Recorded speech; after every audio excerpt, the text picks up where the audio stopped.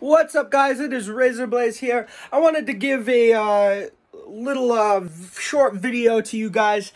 For those who uh, follow my channel, there has been a hour and 45 minute long video, which is a parody of the My Virtual Escape series.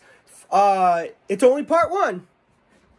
But we're working on part. We're starting to work on part two. We just finished part one.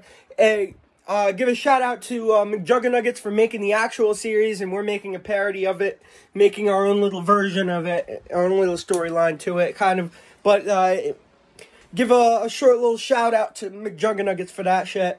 That was the best series he's made. I actually liked it even better than the Psycho series, to be quite honest. So I wanted to let you guys know that, um, yes, part one is out, and it.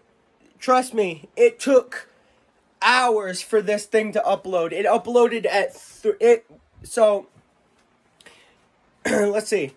It was so I started trying to upload it at 3 in the afternoon. It uploaded at 3 in the morning.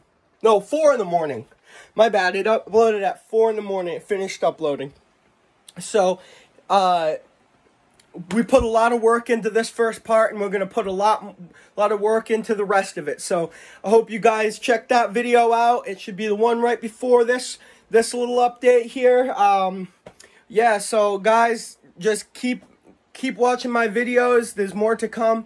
And yeah uh there uh, just keep watching because more and more parts to this is going to come out until it's all finished so yeah, thank you very much. Subscribe, comment, and like my videos. And don't forget to keep watching my shit. Peace.